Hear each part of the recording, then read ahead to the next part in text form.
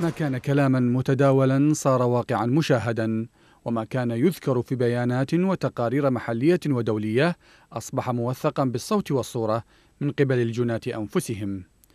مجموعة من عناصر الجيش الحكومي يتحرشون دون خوف أو حياء بطفل ويتحدثون عن اغتصاب والدته في إحدى مناطق الموصل.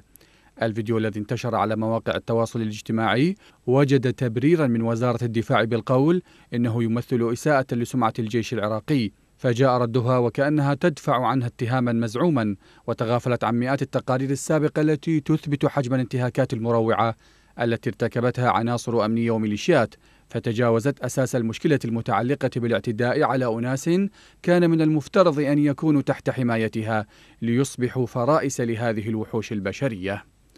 رئيس أركان الجيش عثمان الغانمي وجه قائد عمليات نينوى بفتح تحقيق فوري بالموضوع واعتقال الأشخاص الذين ظهرت صورهم ضمن مقطع الفيديو.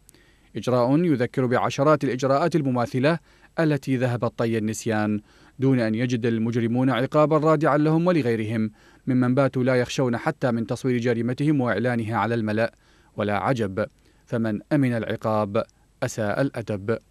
تقرير للخارجية الأمريكية حول حقوق الإنسان في العراق كان قد أشار إلى أن السلطات لم تتمكن من السيطرة على عناصر قوات الأمن الذين يرتكبون انتهاكات بحق المدنيين وخلص التقرير إلى أن الحكومة في بغداد بما في ذلك مكتب رئيس الوزراء حققت في الانتهاكات والفظائع التي ارتكبتها قوات الأمن لكنها نادرا ما أعلنت نتائج التحقيقات أو عاقبت المسؤولين عنها.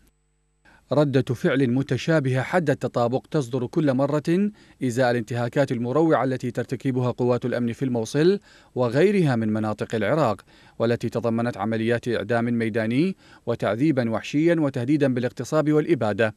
والكثير منها وثقته هيئات ومنظمات دولية ومحلية لكنها وجدت آذانا صماء من الحكومة التي تكتفي غالبا بالبيانات وتشكيل اللجان ذرا للرماد في العيون.